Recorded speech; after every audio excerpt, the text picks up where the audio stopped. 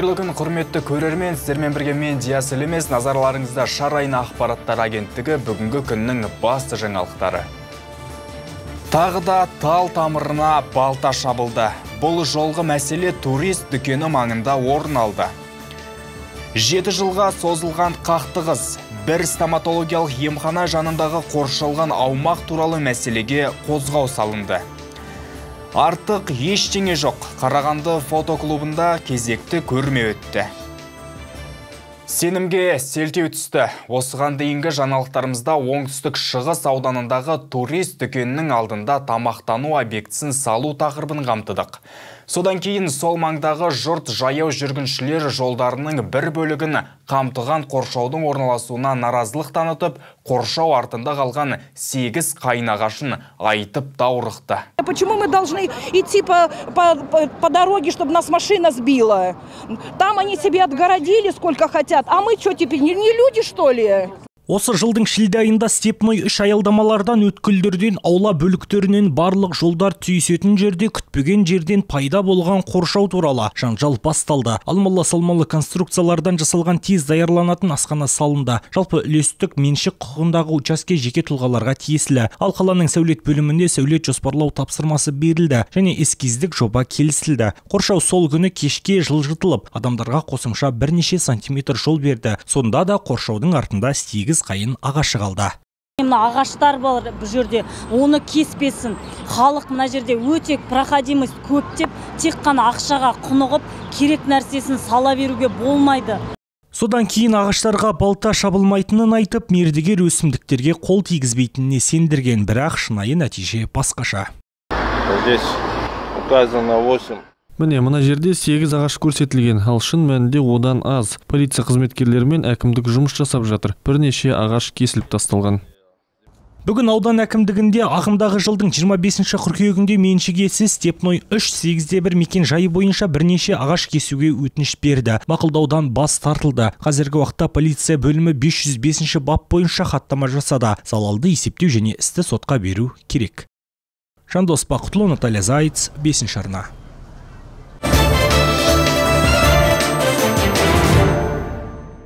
Тау-кен металлургия кешені үшін жаңашылдық. Зиянды еңбек жағдайында жұмыс істеп жүрген жандарға келесі жылдан бастап арнаулы әлеуметтік төлем қарастырылады.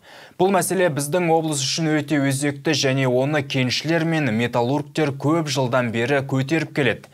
Мемлекет басшысы парламент палаталарының бірлескен отырысында тиісті тапсырма бергенде іс алға жылжыды.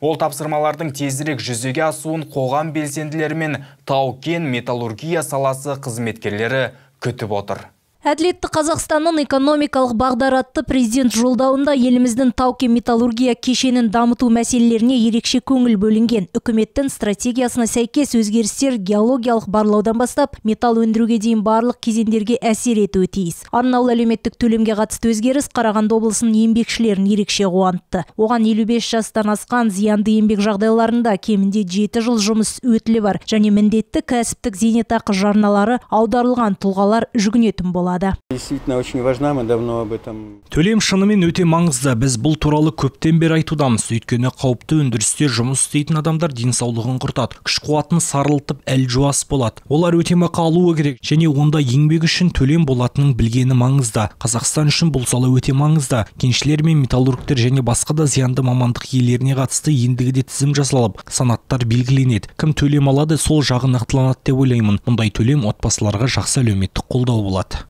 Арнаулы әлеуметтік жәрдемақы үш көзден бюджет қаражат есебінен міндетті кәсіптік зейнетақы жарналары есебінен бірыңғай жинақтаушы зейнетақы қоры және жұмыс берушінің қаражат есебінен өмірді жазатайым оқиғалардан сақтандыру ұйымдарынан төленетін болады. Вице премьер тамара дүйсенованың айтуынша әлеуметтік төлем жалақымен қатар беріледі. Бұл кәсіптік аурулары болған жағдайда немесе мүгедектіктің болуын ескере отырып жұмысшылардың жеңілдетілген жұмысқа ауысуы үшін жасалатын болады.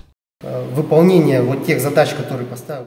жолдауда белгіленген тапсырмаларды жүзеге асыру үшін ауқымды жұмыс жүргізу қажет. Бұл іс мемлекеттік органдар ғана атқаратын жұмыс емес әрбір адам өз үлесін қосатын шаруа. Өз елін сүйетін құрметтейтін әрбір адам азаматтық ұстаныммен ортақ іске атсалысып өз үлесін қосуы керек. Жолдауда президент атқарылған істерге қазіргі ахуалға барынша тыңғылықты талдау жасап болашақта біздерге қолға алар жұмыстарды нақтылап көрсетті.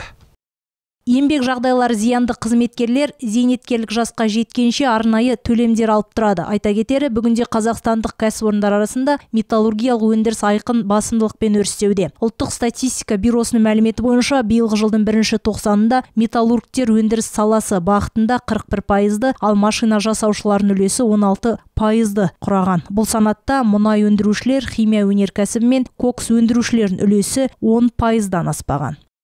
Бақытгүл матуова серік тоғаев николай шевелев бесінші арна Приозерск қаласында осыдан жарты ғасыр бұрын салынған қазандықтың жабдықтары жаңартылды.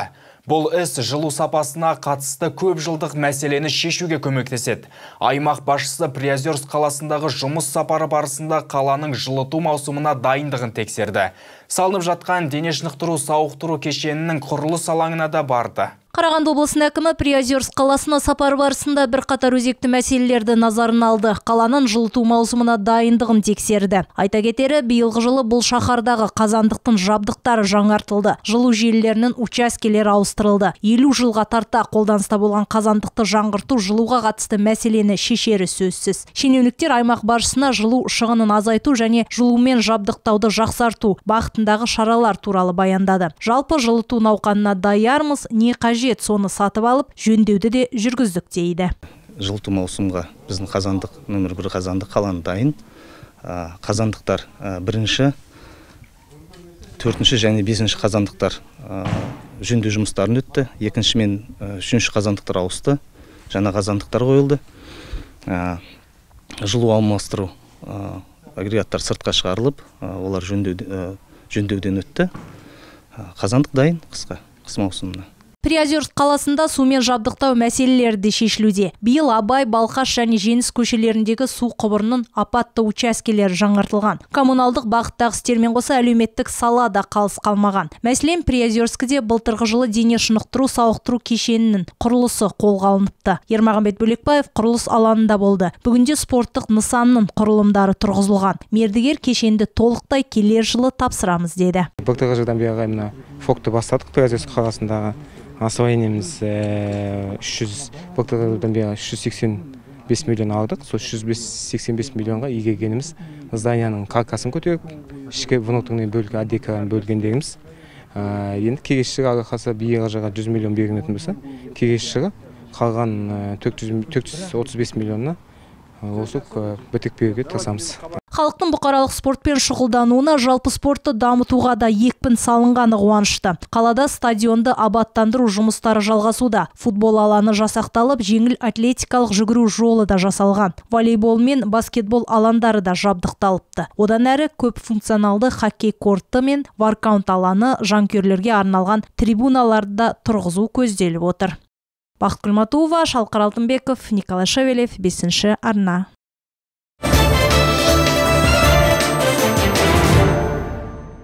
Жеті жылға созылған қақтығыс. Біздің арна қаламыздағы бір стоматологиялық емхана жанындағы қоршалған аумақ туралы бірнеше рет айтып көрсеткен болатын. Медициналық мекеме иесі бизнесті дамытуға, әрі тұрғындарға да кедергі келтірген қоршаудан құтылу үшін заңды әрекет етті. Осылайша жеті жылдық мәселеге қозғау салынды. Жеті жыл бұрын клиника иесі мен оның алдындағы учаскіні жалға алушы арасында бәсекелестік басталды. Дәл сол кезде стоматологияның алдындағы тазартылған аумақта шамдар, төсеніштер, гүлдер мен көшеттер орната бастады. Мекемелер аумақты белгілеу үшін қоршау қойды. Учаскіні алып тастаудың орнына уәкілетті қызметтер жалдау мерзімін ұзартты. Содан кейін бірқатар процедуралар, соның ішінде мақсатты ауыстырулар болды. Бірақ қоршау тұрды, ал аумақ жарамсыз болып қоғамға жат элементтер панасына айналды және мұның бәрін тұрғындар терезеден бақылап отырды. Сзади меня находится э, часть міне мына жерде жеті жыл бойы менің клиникамның алға басуына кедергі келтіретін аула тұрды. Осының кесірінен маған келушілер е көліктерін қоя алмайды е өздері кіріп шығуға ыңғайсыз. Жұмыскерлерімнің де жұмысына кедергі болды. Жер учаскесін мәжбүрлеп алып қоюды талап етті және сот жеңіске жетті. Бірақ жер заңнамасына сәйкес рәсім аукцион арқылы учаскені қайта іске асыруды көздеді. Өйткені егжей тегжейлі жоспарлау тұрғысынан учаске мақсатта бар. Әділдік жолы республикалық қоғамдық бірлестігінде жолдау мерзімін ұзарту заңсыз болғанына сенімді. Аталған жер учаскесі бұрынғы иегерінен алынып аукционға салынған болатын. Аукционнан жаңа иегер табылды.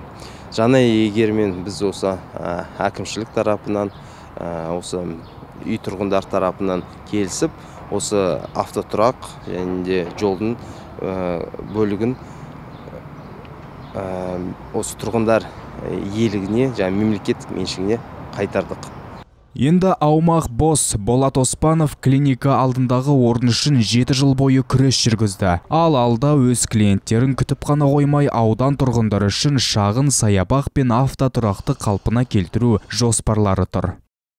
Жандос Бақытұлы, Серік Тоғаев, Наталья Заяц, бесінші арна.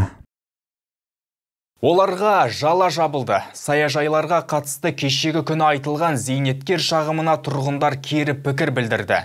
Олар 11D маршрутының жұмыс кестесінің бұзылуына қатысты мәлімдеменің әділетсіздігін айтты. Кешегі сюжетте зейнеткер саяжай автобусының жоқтығына ашуланған болатын. Жолаушылар көлігі бөлімі оларға кестені бұзған үшін шағымдар түспегенін. Автобус дүйсенбіден басқа барлық күндері кесте бойынша 15 қазанға дейін жұмыс істейтінін айтты. Ал басқа бағбандар зейнеткердің бұл сөзімен келіспеді. 11D автобус все лето, начиная с весны, ездил по расписанию. И мы очень благодарны.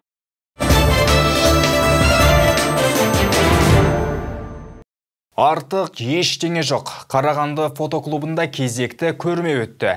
Біздің түсірілім тобы да аталмыш кешке қатысып қайтты. Ерекше суреттер топтамасы турасында. Қарағанды фотоклубының төртінші көрмесі артық ештеңе жоқ тақырыбымен өтуде. Фотоклуб жетекшісі Тимур Кудериновтың пікірінше бұл атау олардың жүріп өткен қиын жолын көрсетеді. Тимур өз сөзінде, біз бүгінгі көрмеде артық ештеңе жоқ деп сенімді түрде айта аламыз дейді.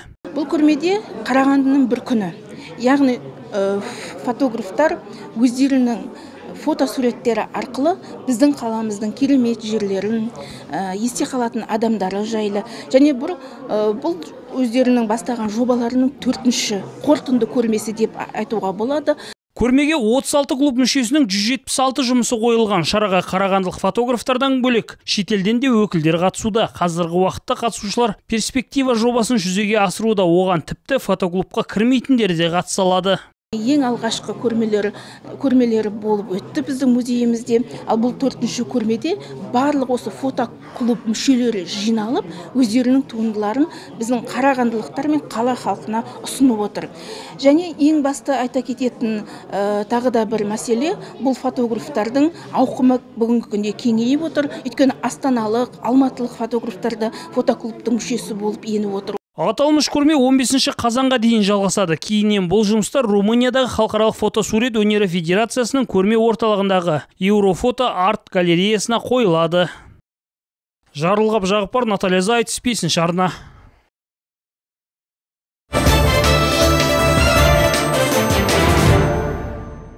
Металлургтер қаласында магнитка шамдары атты дзюдодан халықаралық турнир басталды.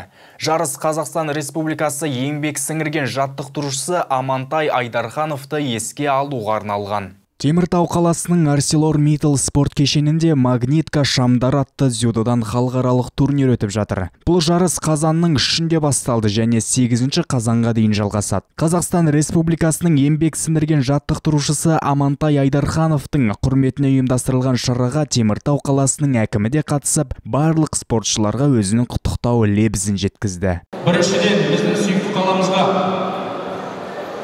басқа қалалардан аудандардан облыстардан басқа елдерге қонақ болып келгендерге қош келдіңіздер деп айтуға рұқсат етіңіздер Бұл турнирде бағын сынайтын спортшылар Қазақстанның барлық облысынан жиналған, тіпті Өзбекстан мен Қырғызстан елдерінен жас спортшылар келген. Солардың бірі Тарас қаласынан келген Серікболат Рамиля. Ол бұл турнирде 48 салмақ дәрежесінде өнер көрсетті. Турнирға жалпы саны 2007-2008 жылғы 700-ден аса қыз жігіттер қатысып жатыр және жарыстың жүлде қоры 4 миллион теңгені құрады. Биылғы турнирда біз ерекше дайындағанбыз. Мемлекеттік әлеуметтік тапсырыс арқасында ең үздік жеке спортшыларға, командаларға ақшалай сыйлықтарды, наградтарды жеке қарастырғанбыз. Жарыстың жүлде қоры мен спортшылар саны жыл сайын артуда, ал осы турнирдің жеңімпаздары ақшалай ғана емес, спорт шеберіне кандидат атағын да алады. Диас Елемес, Николай Шевелев, бесінші арна. Бізге келіп түскен ақпараттар легі осындай, келесі кездескенше аман, сау болыңыздар.